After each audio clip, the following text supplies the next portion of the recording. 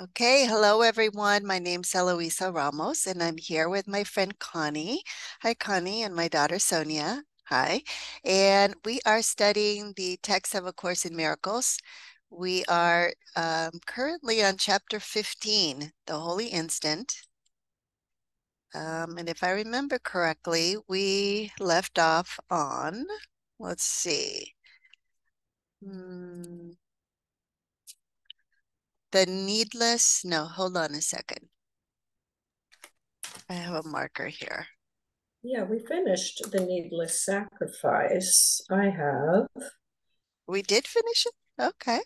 Yeah, that's where I put my marker at the end to be starting on the only real relationship. Oh, okay. Sounds good. The only real relationship. Okay. All right. So let me go ahead and start reading. Just going to arrange things here a little bit so I can see it on the screen. Okay. Uh, the, the holy instant does not replace the need for learning. For the Holy Spirit must not leave you as your teacher until the holy instant has extended far beyond time. For a teaching assignment such as his, he must use everything in this world for your release. He must side with every sign or token of your willingness to learn of him what the truth must be. He is swift to utilize whatever you offer him on behalf of this. His concern and care for you are limitless. In the face of your fear of forgiveness, which he perceives as clearly as he knows forgiveness is release, he will teach you to remember that forgiveness is not loss, but your salvation. And that in complete forgiveness, in which you recognize that there is nothing to forgive, you are absolved completely. Okay. Okay. All right. So let's see. Uh, I think I think Sonia's internet went out. It's going to be cutting in and out, but that's okay. Okay, so the only real relationship here. Okay. So when we were talking about the holy the holy instant, we are talking about the experience of oneness with our brothers, with creation as one son of God. okay. And that is the only real relationship. Okay. A any other relationship that we make in the world is going to be based on separation, either of a body and a body or an ego and an ego. Because it's a making that we um, imagine or invent in their own mind. So we're not actually seeing the reality as God created when we perceive separation. Um, that's why the Course calls it a dream. So here, um, it's it's uh, um, it's talking about the experience of the holy instant as not replacing the need for learning. Um, because we're not done with learning just because we can experience a holy instant. Uh, because because we're still experiencing it in time. We still believe that we're in time, but we're having this holy instant. And and then we seem to go back back to our everyday kind of usual um, dream and go back to thinking and believing we're an ego or, or a body or both or whatever. So, um, so the learning is not is not finished. The the the Holy Spirit's job is to return our mind to to the awareness of love's presence as the only reality okay which is a true reflection of knowledge of what we are and how we were created um, one one with our creator okay? So so everything everything that we experience in the world can be utilized like number four he is swift to utilize whatever you offer him on behalf of this. So everything we experience in the world that we offer to the holy spirit because we are willing to forgive it forgive it because we want to see it differently okay because uh, because we are tired of the suffering that comes with the unforgiveness, with the projecting of blame, and you know, with the anger, with the uh, upset, with um, with the yeah, with the fear. Okay, all of that. Um, we offer and we want to forgive because we want that healed okay? We want our mind healed. And that's the willingness that the holy spirit um, is asking for um, in order to translate or reinterpret our misperception um, that entails suffering and um, and then undoes it so that it heals and we can experience peace and joy and love. Okay. Um, and so let's see. But ultimately, what this is saying is that he will teach you to remember that forgiveness is not loss, but your salvation. So, so we are learning that through forgiveness, we are saved from our own error in believing that the separation happened. And in that process is healing, which is salvation because it's the end of suffering. Um, and in and and then finally in complete forgiveness, okay, in which we recognize there's nothing to forgive okay, then you're absolved completely because at that point the the mind has completely generalized and um and seen and and and accepted the truth that there is no separation. It never happened. The mind, as uh, we are created um, by the mind with a capital M, is still one with that mind. Um, and so nothing has happened. Okay, the dream, there is no dream. That would be the return to knowledge. Uh, did that make sense, Connie? Yeah. Okay. Okay, number two. Hear him gladly and learn of him that you need that you have need of no special relationships at all. You but seek in them what you have thrown away. And through them, you will never learn the value of what you have cast aside, but still desire with all your heart. Let us join together in making the holy instant all that there is by desiring that it be all that there is. God's Son has such great need of your willingness to strive for this that you cannot conceive of need so great. Behold the only need that God and his Son share and will to meet together. You are not alone in this. The will of your creations calls to you to share your will with them. Turn then in peace from guilt to God and them. Okay. Um, okay, so so one of the, you know, the sections prior to this ha have been talking about special relationships. Um, and so the special relationship is not a real relationship because because it's based on a misidentification of what we are and what our, you know, the, our partner or the person that we are in relationship with is it's a misperception um, and therefore we're relating to them you could say you could say under under a self image that we made of ourselves and of them uh, which is just imaginary um, it's not the truth. So for the, for that reason the relationship is not real um,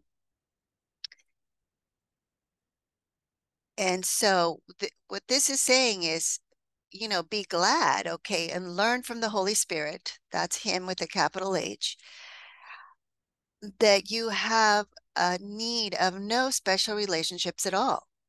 Okay, so we can still um, live, we can, we can have, let's see, mm, we can still seem to live in the world without special relationships because the holy instant is the experience of what is a true reflection of knowledge, of oneness, of no separation, which is based on the recognition that we are not a body, we are one mind created by one source, and we are not separate from that source. Mm, because the separation never happened. So that's the acceptance of the atonement. Um, it says, in the special relationships, you but seek what you have thrown away. Okay. And so what are we seeking in them? We're seeking joining, right? We're seeking um, you know, to to complete, to quote, be complete and have no needs.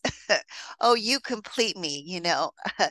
the idea that, oh, opposites attract because they complete one another. Well, opposites can't attract because they oppose one another. Okay, it's a contradiction in terms.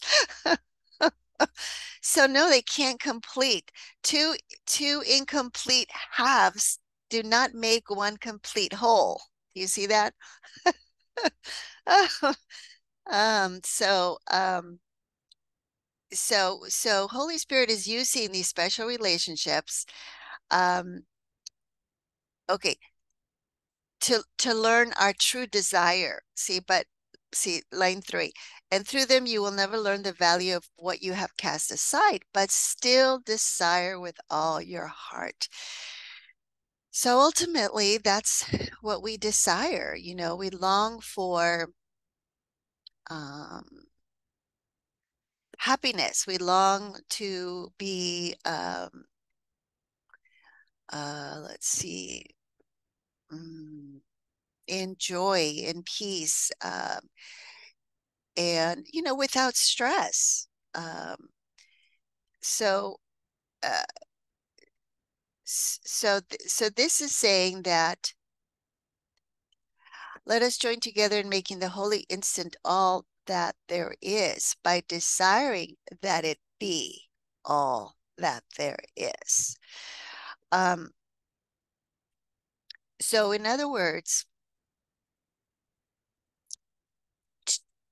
for the to to believe that there's something more than the than the holy instant, than the recognition that we are one with everything, which is our source, is the belief in separation.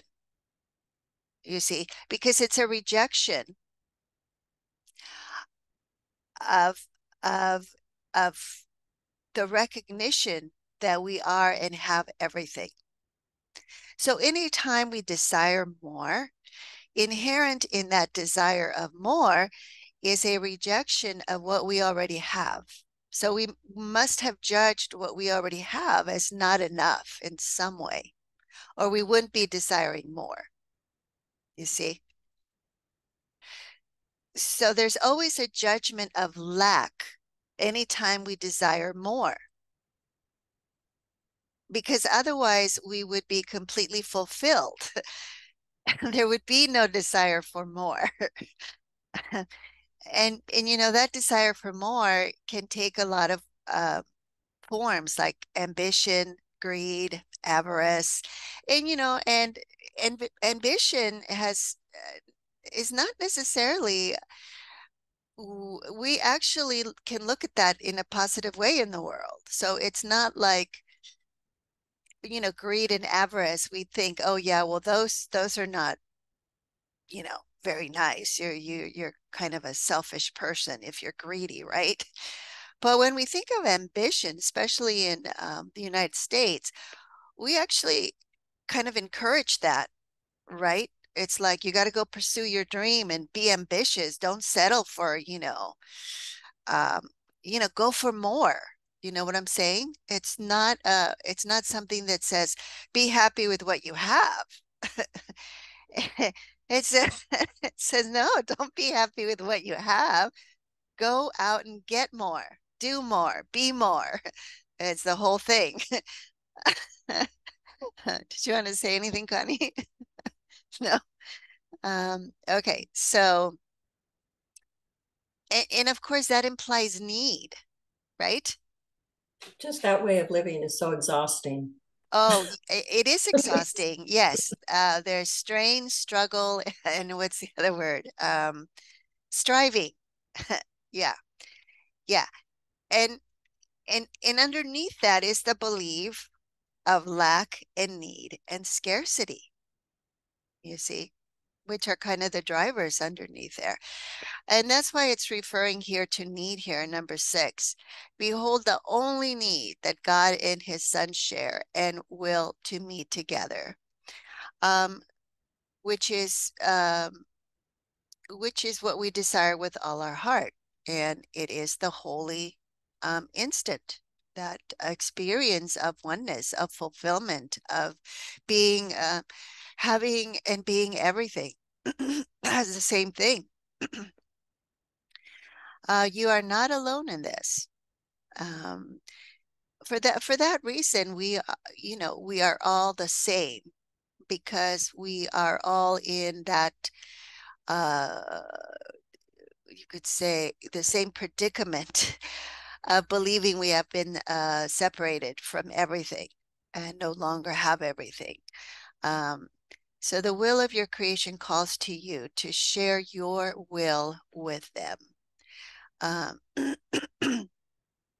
so, so, so it's really one will. It's one Son of God. So if our will is for the truth, which is the will of God, is for the recognition of oneness, of being everything and having everything, then then that um, is a sharing um, with all of our brothers and sisters because it's one mind.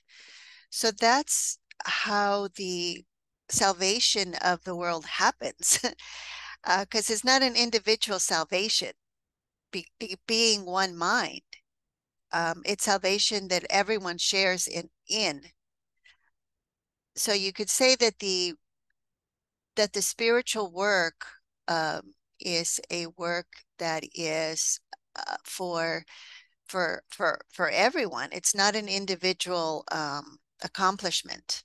You see what I'm saying? It's not an individual pursuit. Um, turn then in peace from guilt to God and them. That would be our brothers and sisters. So turn turn um, oh you know let go of guilt. That's what we're forgiving every time we forgive. Um, and peace is is healing. So inner peace is healing. So so letting go of guilt is letting go of sickness. Um, and we're turning to God, which is peace and healing. Okay, number three.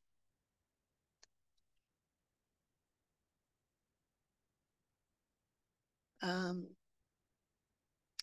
okay, relate only with what will never leave you and what you can never leave. Let's see, the loneliness, blocking a word here, the loneliness of God's Son is the loneliness of his Father. Refuse not the awareness of your completion and seek not to restore it to yourself. Fear not to give redemption over to your Redeemer's love. He will not fail you, for he comes from one who cannot fail. Accept your sense of failure as nothing more than a mistake in who you are, for the holy host of God is beyond failure, and nothing that he wills can be denied. You are forever in a relationship so holy that it calls to everyone to escape from loneliness and join you in your love. And where you are, must everyone seek and find you there. Uh, yes, so so what it's saying is, you know, relate only with what will never leave you, with the eternal. So not with the impermanent, okay? Because you know, if I relate with you, Connie, as a body, okay, and one day the body is cast aside, well, then I have suffered loss, haven't I? because I have been relating to you as a body and your body's not going to be there anymore. Okay. So that's why it's saying, you know, relate to the truth of what we are, which is eternal. So if I relate to you as eternal spirit, the same as I am, as one mind, one Christ mind, okay, then the um, you know, the change in the body form, that's not going to do anything. That's not really a change. I can still relate to you with the same eternal love. Um, because that was the recognition of what we what we are and that that's with us forever so so the loneliness of god's son is the loneliness of his father so when we experience loneliness, it's because we are misidentifying ourselves um, as something that is not not eternal, that can be separate and on its own. Okay, and when we experience that, we believe that we are that separate self. And and by believing that we are that separate self then our father would also have to be lonely because it means that we would be separate from our father okay? Not in truth but in the dream. Okay so refuse not the awareness of your completion okay? And seek not to restore it to yourself okay. So that's what i was saying is that you know we relate to people based on on our needs thinking that we are incomplete and have needs. And when we do that um, we have lost the awareness of our true source of creation. Um, and and and because we've lost that awareness or we haven't lost it but we've blocked it off because um, it's still there it's just that we've closed off from it so um, then what we try to do is we try to to seek that completion and to restore it to ourselves. Okay. And that's when we go into the special relationships based out of need and out of lack. Um, and not out of the idea of joining from a place of abundance and sharing from that abundance. Um, with the recognition that we are whole and complete and we're not you know i'm not going to get married because i need you um you know i'm going to be with you because i want to share the um of the completion and abundance that love is and um and want to extend that love you see. So it's really coming from two very different places. Um, yeah. So so here here it says, look, it just accepts your sense of failure when it comes to the special relationship. Okay. It's it's it's not a big deal. It's just a mistake in who we think we are. Um, and that's the error that we want to give to the Holy Spirit. And um, and and have the uh, memory restored to us of being the holy host of God that is beyond failure. Um, and so, um, you know, in that remembering, um, we we realize that there's nothing that we can possibly lack or need because our will um, is um, is creative power. And so our will is always being done. So in in the world it may appear as things happen that we don't want oh no i didn't i'm not the author of that okay that was not my will i didn't want that you know but but that's not true because nothing can happen in our experience without our um, consent. That's our will. We give consent to everything that happens. Okay. I forget which lesson it was that really made that um, point really, really clearly. It was, uh, let me see if I can find it really quickly. Um, it was from the week before. Let me see. But um, let's see if I can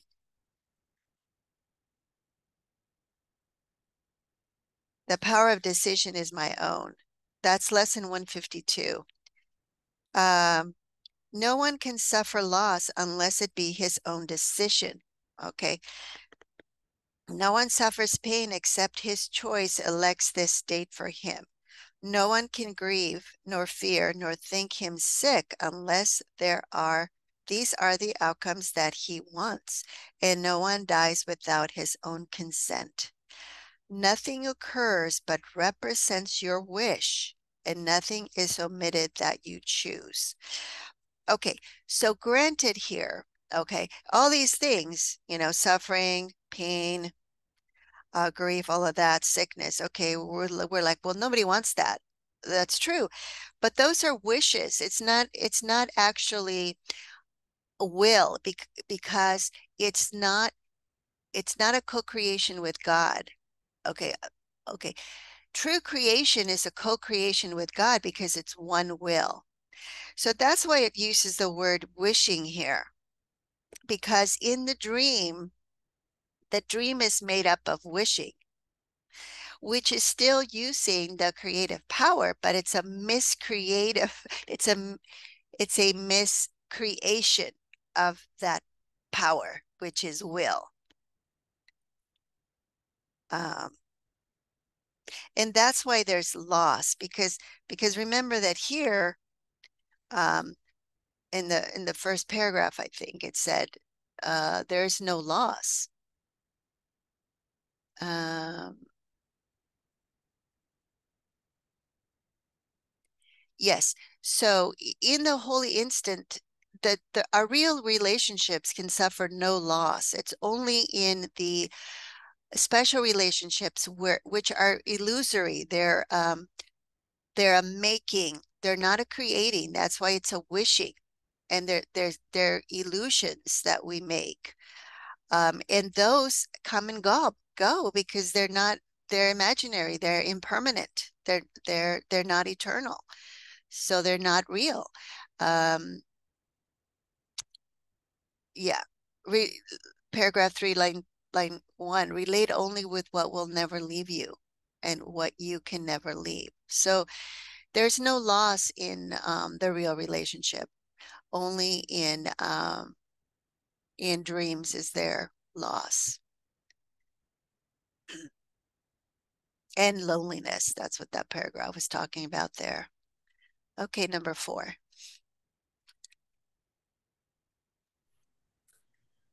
So our true will is only coming from a place of love and joining, and everything else then is pretty much just a wish, which is an illusion. Yeah, that mm-hmm. that's that's really helpful because I think sometimes I believe that these thoughts that are going on are true.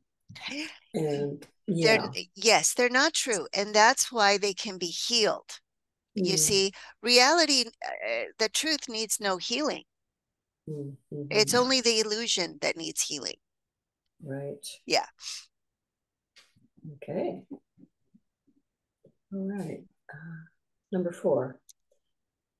All right. Think but an instant on this. God gave the sonship to you to ensure your perfect creation. This was his gift, for as he withheld himself not from you, he withheld not his creation. Nothing that ever was created but is yours. Your relationships are with the universe. And this universe, being of God, is far beyond the petty sum of all the separate bodies you perceive. For all its parts are joined in God through Christ, where they become like to their Father. Christ knows of no separation from his Father, who is his one relationship, in which he gives as his Father gives to him.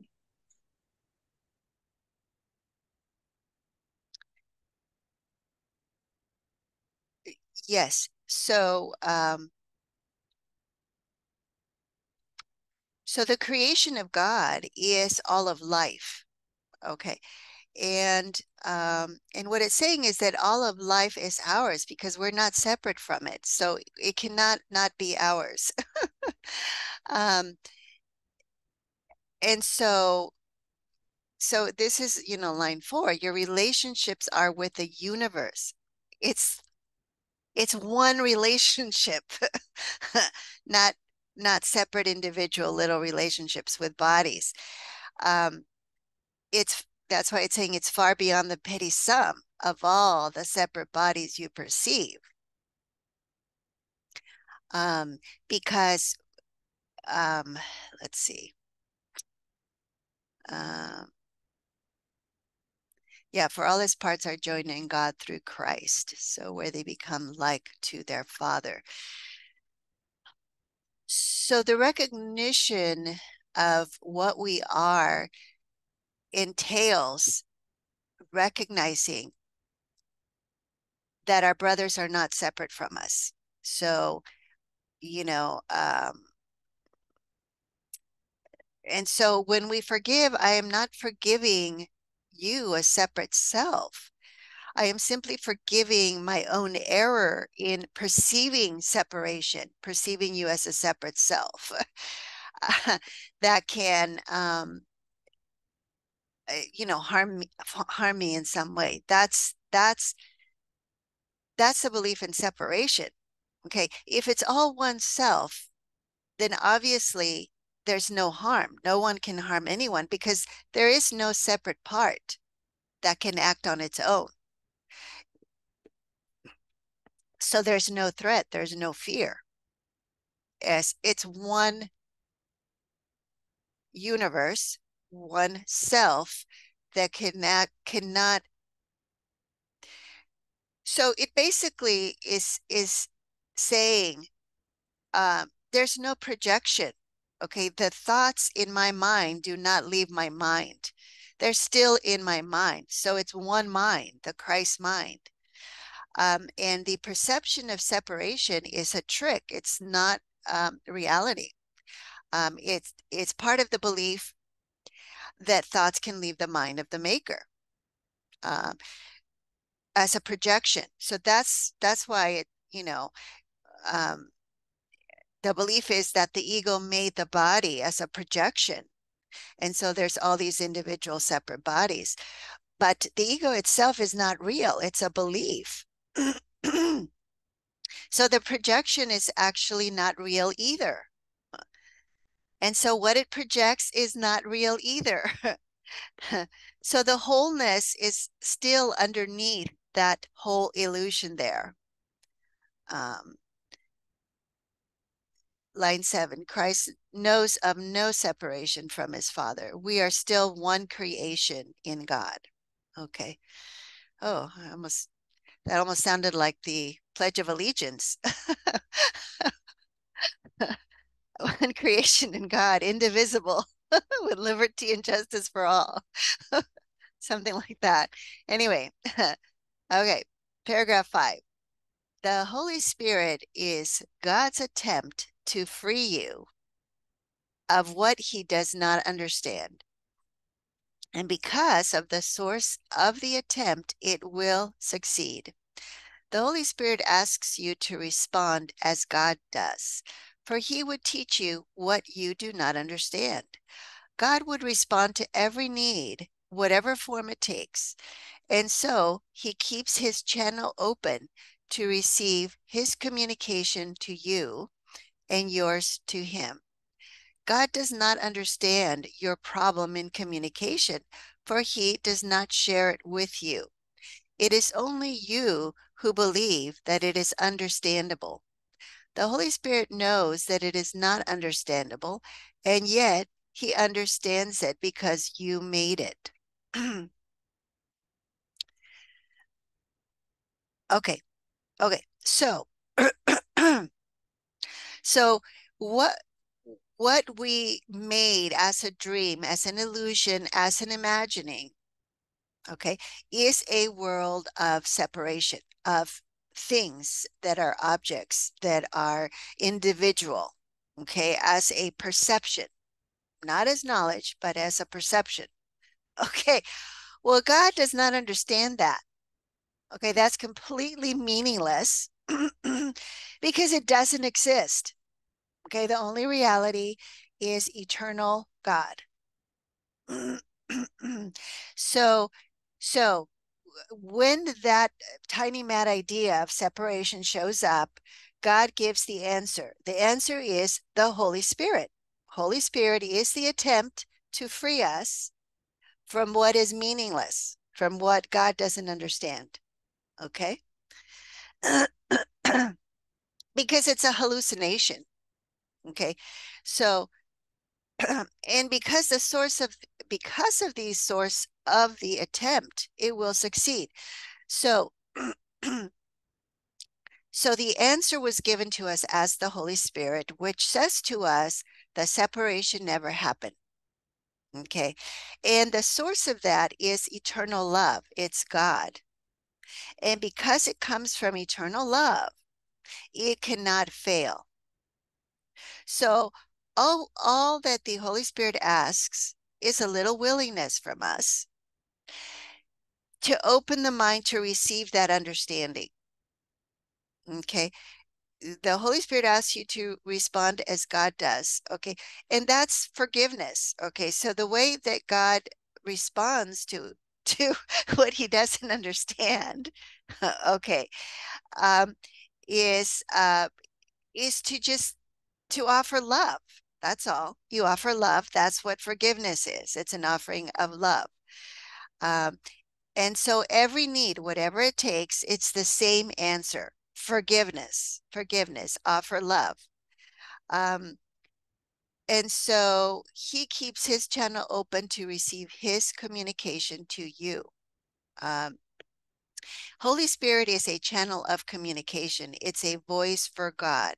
So God always keeps that link, the Holy Spirit, open for communication um, so that we can receive that communication and so that um, the mind can be open um, for and yours to him so that our mind can be open to him for revelation.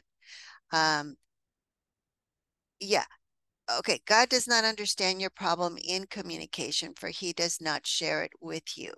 Um, let's see. So our problem in communication is is is really the belief in separation. It's the only problem that there is.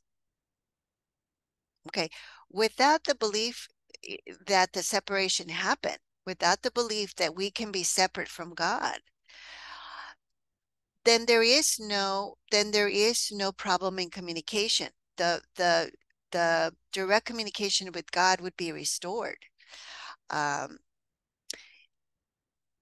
yes. Um, Okay. And the Holy Spirit is the mediator.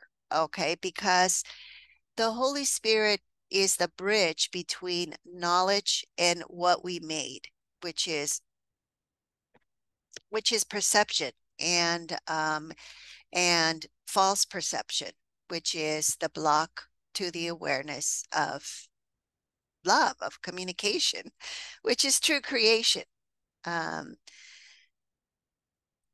okay, so that's the that's line eight there. That's why it's so confusing. It says Holy Spirit knows that it is not understandable, and yet he understands it because you made it.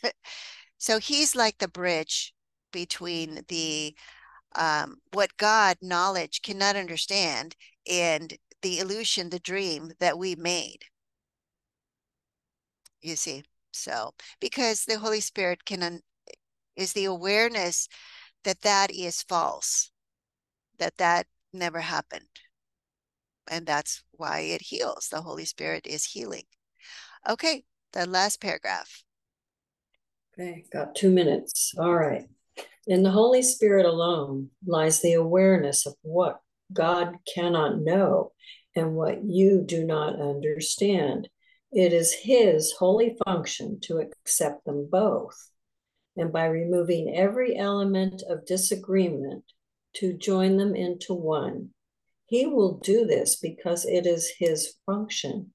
Leave then what seems to you to be impossible to him who knows it must be possible because it is the will of God.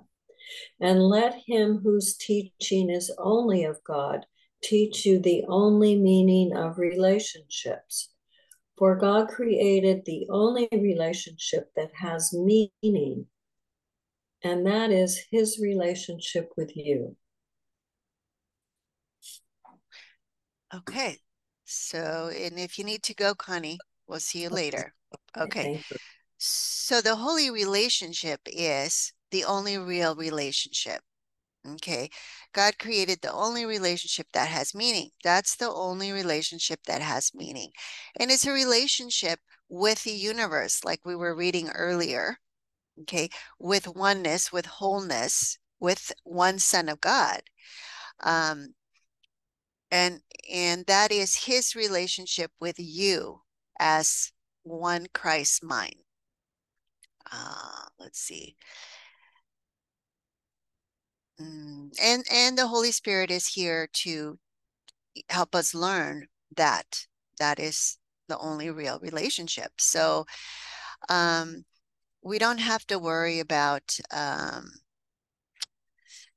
you know this God as knowledge and not being able to understand the illusion. The Holy Spirit is the one, it's the Holy Spirit's function to accept them both and then remove every element of disagreement, which is the undoing of the illusion, which is what healing is. So, so ultimately, the healed mind will no longer um, need the Holy Spirit because the healed mind is now ready to receive direct communication from God. Okay. Okay. So thank you. Thank you, everyone, for joining. And until next time. Bye. Thank you. Thank you. Holy, Bye. Holy, Holy, Spirit has a huge job. Uh, yes, and we and we don't but we don't have to worry about that because okay. yeah, its source is infinite.